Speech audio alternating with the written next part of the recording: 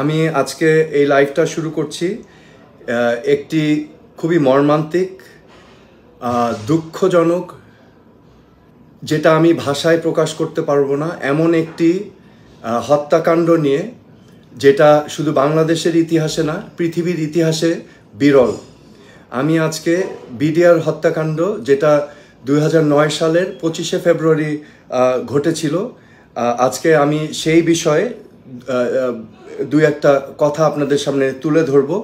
একটি সংবাদ সম্মেলনের সংবাদ সম্মেলনের কিছু বক্তব্য নিয়ে আমি আজকের এই লাইভটা করতে চাচ্ছি। আপনারা জানেন যে পঁচিশে ফেব্রুয়ারি দুই হাজার নয় সালে আমাদের বাংলাদেশ সেনাবাহিনীর উজ্জ্বল নক্ষত্র বীর অফিসার বৃন্দ, যারা আমাদের বাংলাদেশের সম্বল ছিলেন যারা বিচক্ষণ ছিলেন, যারা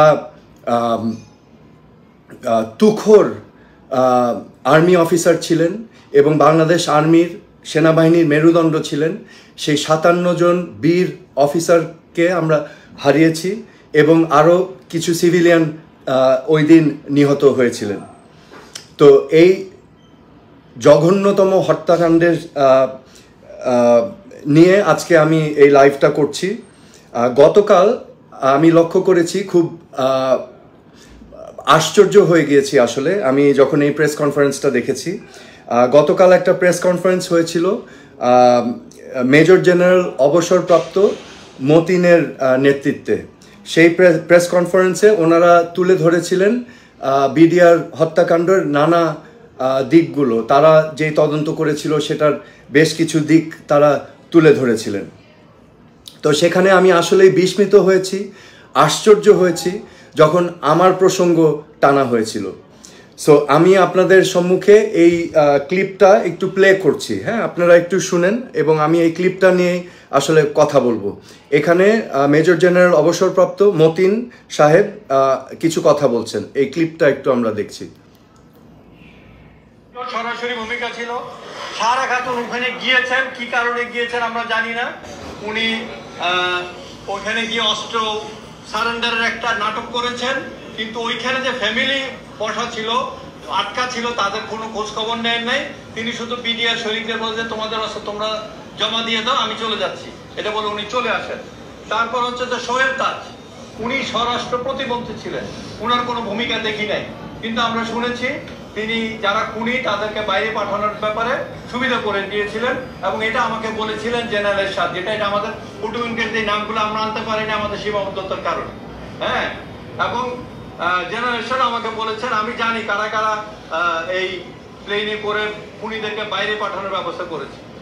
তারপরে আচ্ছা তো আমরা এখানে স্পষ্টভাবে শুনলাম যে উনি বললেন যে সোহেল তাজ সে সময় স্বরাষ্ট্র প্রতিমন্ত্রী ছিলেন এবং তাদের ইনভেস্টিগেশনে আমার সম্পৃক্ততা থাকার কোনো কোনো তথ্য, কোনো এভিডেন্স তারা পাননি।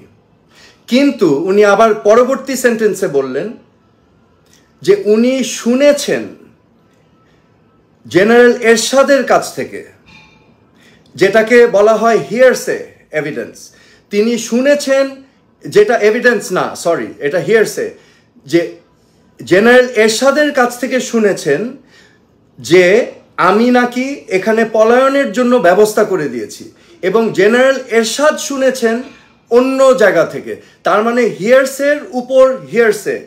এবং এই স্টেটমেন্টটার কিছু সমস্যা আছে। এখানে উনি একজন প্রয়াত ব্যক্তির হিয়ারসে নিয়ে এখানে জনসম্মুখে উপস্থাপন করেছেন। এটা ঠিক না। এটা একেবারেই ঠিক না। এটা হচ্ছে একজন মানুষকে উইদাউট এভিডেন্স কালিমা দেওয়া। ঠিক আছে?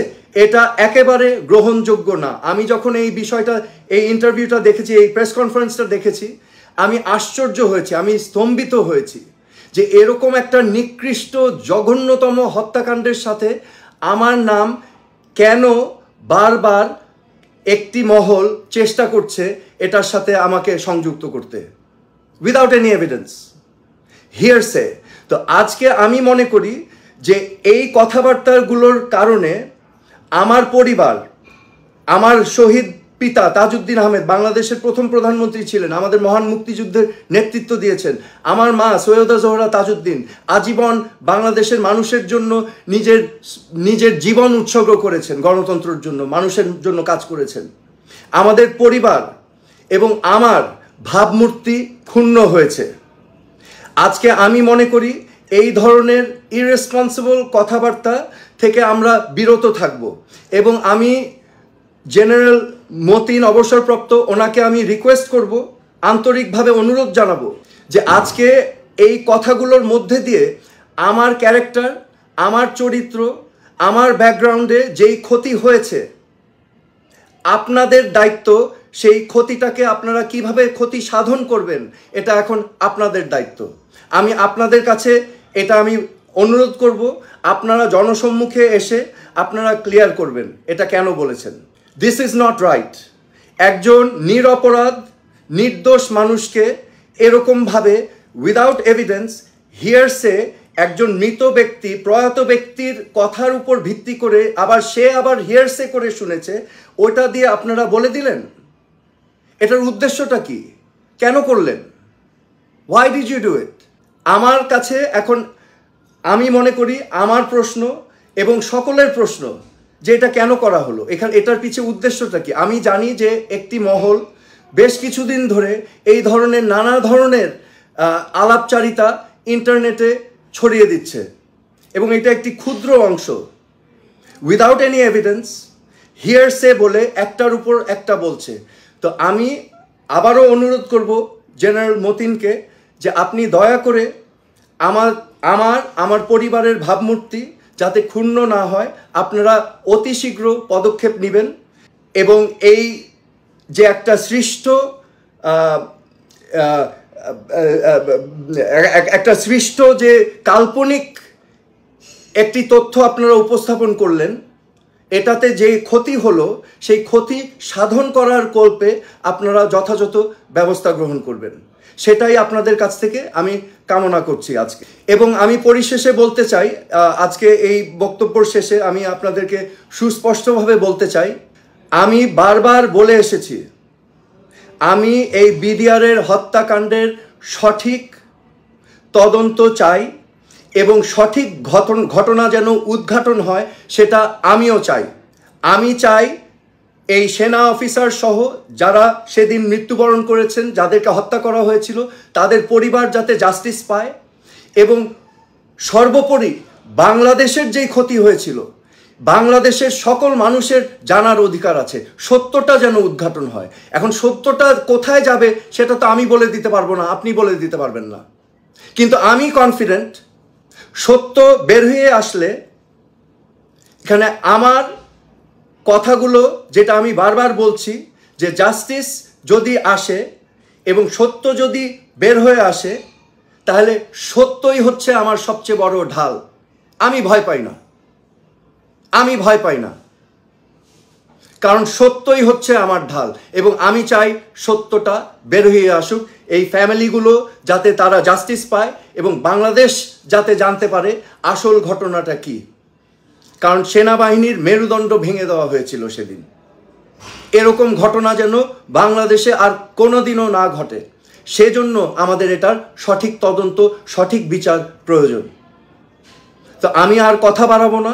আপনারা সবাই ভালো থাকবেন, সুস্থ থাকবেন, আমার জন্য দোয়া করবেন। আমি সারা জীবন আমার আম্মার একটা উপদেশ ফলো করেছি যে, সোহেল, তুমি সবসময় সত্যর পথে থাকবে। সত্য অনেক সময় কঠিন, কিন্তু সত্য কিন্তু চিরস্থায়ী হয়। এবং সত্যই হবে তোমার হাতিয়ার, সত্যই হবে তোমার ঢাল।